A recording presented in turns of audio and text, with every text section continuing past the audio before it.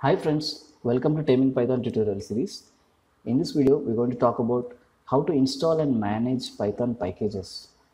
Let's get started.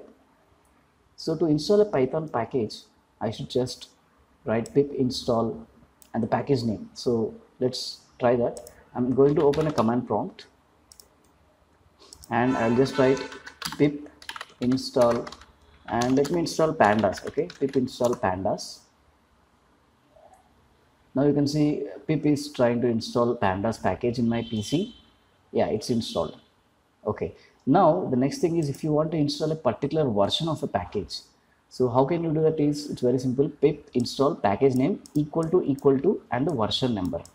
So this change is just you should write pip install pandas equal to equal to 1 dot 1 dot 1 suppose i want to install pandas 1 dot 1 dot 1 i will just write pip install pandas equal to equal to 1 dot 1 dot 1 so let me see what happens yeah so now my system try to install pandas 1 dot 1 dot 1 now if you want to install 1 dot 0 dot 0 you should write pip install pandas equal to equal to 1 dot 0 dot 0 something like that right and now suppose if you want to install something else pip install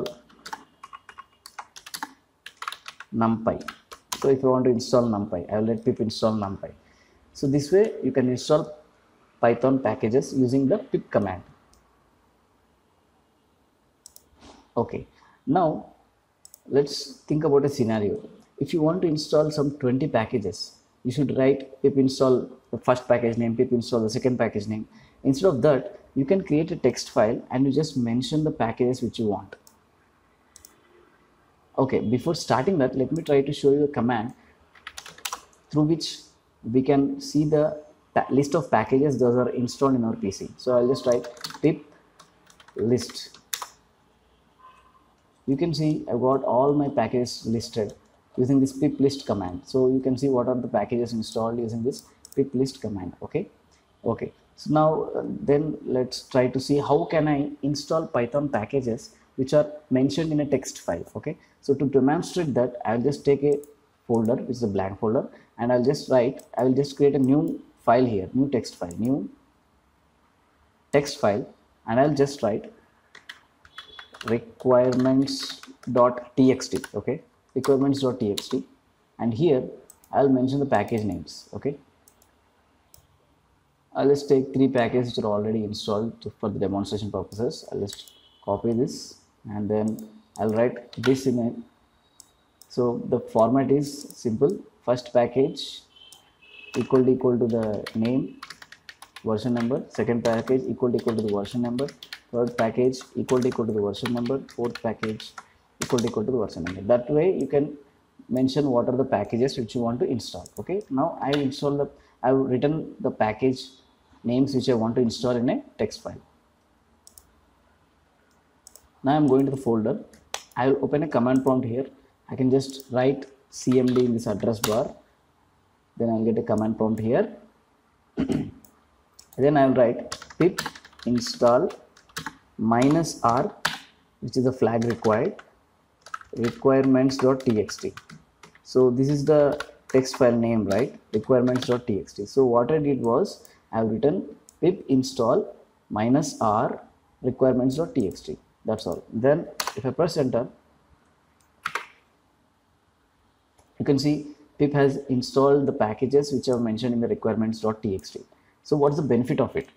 The first benefit is basically you can happily mention first and then install and the next thing is you can give this file to your friend or your project mate and just tell them to run pip install and these packages will come into their system so that is the main advantage of this requirements.txt file. So let's see how it's done. Once again you just create a file. You can name it anything.